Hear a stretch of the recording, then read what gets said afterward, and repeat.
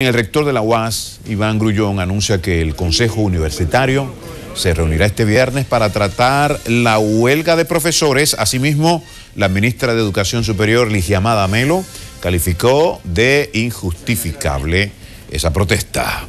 Lo que voy a avanzar es que ese, ese conflicto va a terminar muy próximamente, muy próximamente. Yo lo garantizo, hay un diálogo, conversación y no hay otra forma que eso termine, la universidad se normalice, se va a normalizar. Y convenciendo a los profesores que la universidad tiene sentido con la universidad abierta y los estudiantes son la razón de ser de la universidad y eso ha ido tomando conciencia de la familia universitaria y sobre todo los docentes de manera general. No tiene sentido el que paralicen la docencia. Usted dice que un atentado contra... Un atentado contra el grado de superación, la necesidad de superación que tienen esos niños, esos jóvenes.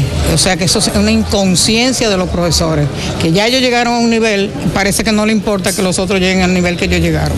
Absolutamente yo no puedo hacer nada. Ni mediar con las autoridades no, no, yo no puedo hacer nada porque yo no tengo, yo no tengo potestad para erogar fondos.